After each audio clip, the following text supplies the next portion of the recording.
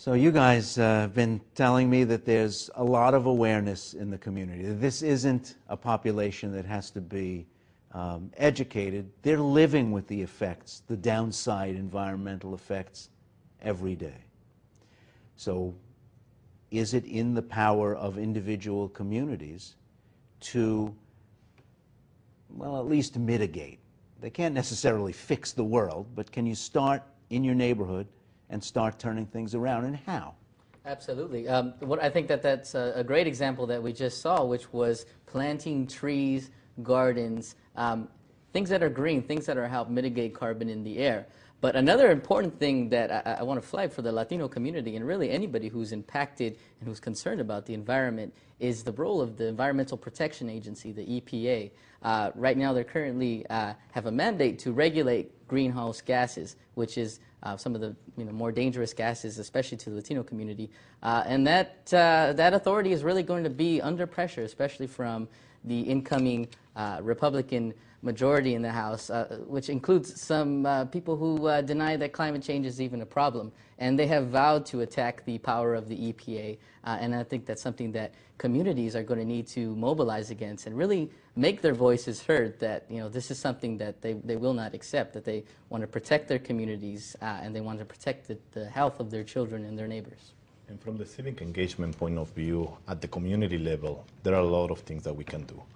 Proposition 23 in California and saying no to Proposition 23 was a clear message, and the Latino community played an important role saying no to push back on, on, on, on, on these kind of legislations. I mean, uh, when there are regional or state uh, pieces of legislation that are against the, the values and the future of, of, of a green economy, I think the Latino community at the local level, the voters can play a central role, voting and supporting policies that are good for our communities, that are good for the environment, and that are good for the economy. I think it's incumbent upon us, uh, uh, environmental organizations like, such as the Sierra Club and also your, your groups, uh, uh to let the, uh, the uh, Latino voters know who is um, working for the polluters and who is working against the polluters. because in many instances, they're given this false choice. They said, okay, you're going to have a job, I'm sorry, but there's going to be pollution and you're going to be sick. Um, if there's not going to be any pollution, then there's not going to be any jobs. But that's the choice that's offered workers around the world and as in the United States, low-income workers, yes, especially are offered the, that. And choice. that is that is not uh, the trend of a you civilized of or a, you can breathe. That, of a civilized country is a false choice because you can have both. And I see, I think that uh, the voters, especially out west, are realizing that they, they can, yes, they can have both a clean job where the, the, the, uh, the worker doesn't, doesn't get sick. Uh, but it's also, as I was saying, incumbent upon us to make clear who are those who are working for the polluters and who are those who are working to have a clean environment and a clean job. And uh, once they, they're educated in that respect, I think they're going to have a, they're going to have a, a, a, much better, they're going to be in a much better position to make a, uh, a choice. In a neighborhood like the one we just saw, which has one of the busiest highways in America, rolling right through the middle of it, the Brooklyn Queens Expressway, belching out uh, exhaust from thousands and thousands of trucks and uh, heavy vehicles and private cars, all day, all night, every day. Those people can't pick up and move, but maybe there are approaches that will help them find green jobs, a different kind of green job, rebuilding the world they've got instead of thinking about some bright future. Uh, aren't, aren't there a lot of jobs in retrofitting, in making the places they live better places to live, cleaner, more efficient, more decent places? But there's another factor involving here. It's called fighting back. And uh, we see many examples throughout the country where fighting back is really effective. For instance, the uh, ladies of Poder in Austin, Texas, they took on the five largest oil companies in the world and beat them. They actually shut down this uh, uh, facility of 52 uh, um, storage tanks that were spewing the most horrendous uh, chemicals you can imagine, and they were doing it legally. So these two ladies just uh, got together, started asking the community, nosebleeds, headaches, dizziness. Everybody, everybody had the same symptoms. They thought it was a punishment, a punishment of God because they did something wrong. No, it was not. It was ExxonMobil, it was Chevron, and it was Shell that were actually poisoning them. They fought back and they won, they won the case and they shut down the facility. So there's another component to, yes, being educated and planting trees and being green and all that. Just, you also need to fight back against the polluters. Well, I think that the, uh, uh we're starting from a very solid base here. Uh, the fact that uh, I would say 95, depending on the on the uh, poll that you that you uh, check, but between 85 and 90 percent of Latinos, global warming is a fact. It's not a theory that or, some, or something that needs to be debated. It's, it's, something that we need to deal with. First of all, because they know very well that the the um, ethnic ethnic minorities and the countries where they come from will, will suffer the worst part of uh, global warming. That on one hand. And on the other hand, this, uh, the, the, difference between why is it that uh, this uh, vast majority of, uh, of Latinos believe in, in, global warming as compared to the general population, where barely 50% would tell you the global warming is actually taking place. Uh, the reason is because uh, Latinos usually stay in touch with their communities, with the, the countries they come from. And in those countries, global warming is a fact. It's not something to be debated.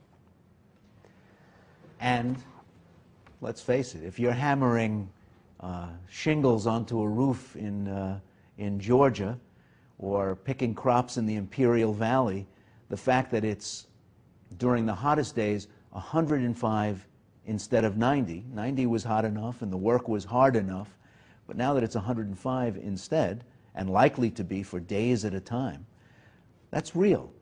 You are working outdoors. You are working in the environment. You do know when a month's worth of rain falls in two hours and then it doesn't rain again for another month. Um, our workers are concentrated in industries where they're likely to notice these things are happening. We have the highest percentage and the highest concentration of the most vulnerable workers in the nation. A lot of those workers are undocumented workers. As an organization, we have a serious commitment with these workers and to make sure that the labor rights, the human rights, and their civil rights are enforced. And I think the green jobs offer a new opportunity to provide better and safer jobs. Not necessarily union jobs, we encourage uh, joining unions and come under the, the umbrella of the unions, but at the same time, the, the, the kind of jobs that we're promoting within the, the green jobs uh, environment, I think are safer and are better jobs for all workers, particularly for the most vulnerable workers. So a union job for example, might give a worker the, the power to negotiate work conditions that are, are less dangerous or less harmful. Exactly. We have the infrastructure uh, to make sure that their, their labor rights at least are respected, and that their human rights are respected, that their civil rights are respected. We constantly are fighting to, to make sure that, uh, that we're moving in that direction. And we can look at the historical contributions of the labor movement uh, overall. Why do we have weekends? Why do we have a 40-hour uh, work uh, week? Why do we have pensions? Why do we have a lot of the basics that we need to continue pushing to make sure that all workers, especially now undocumented workers, get access to? So uh, here you are with a population that's on board, as Javier notes, as the polls are telling you, as Hector uh, quoted from his earlier study. How do you mobilize them? Well, I'd like to point out that Latinos, uh, particularly Latino immigrants, are some of the original environmentalists. Uh, uh, Cesar Chavez led a, led a movement of United Farm Workers during the 1960s when the environmental movement was still really in its fledgling form. And uh, it was part of, of, of, their efforts that helped to ban a particularly dangerous pesticide on our fruits and vegetables called DDT.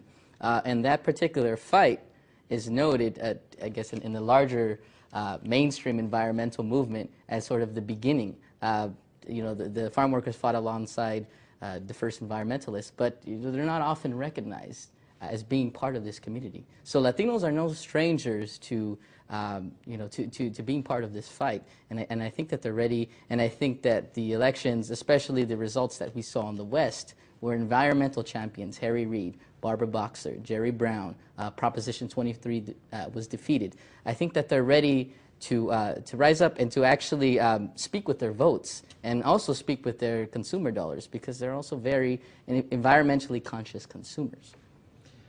I um, am so old that I actually interviewed Cesar Chavez on, on this subject. and uh, he, he pointed out pretty early on that he was noticing uh, nerve damage, that he was noticing cognitive difficulties, that he was noticing uh, eye, ear, nose, and throat problems as the amount of agricultural chemicals uh, used in the fields was rising, and he had worries about the groundwater. And this was 30 years ago. Um, he was already looking forward to that being the next fight after organizing. Yes, we got uh, the hours, we have the wages, we have the contracts with the growers.